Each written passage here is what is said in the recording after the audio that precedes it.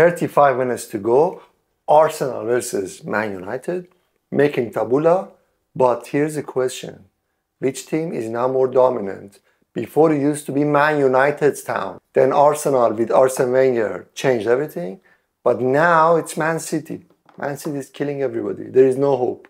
But can Ten Hag or Arteta challenge Pep? It's the only question. United lost De Gea, they lost Ronaldo. Arsenal is going to destroy Man United. If Arsenal does not destroy Man United tonight, I'm not going to eat this tabouleh tonight. Make your own food at home.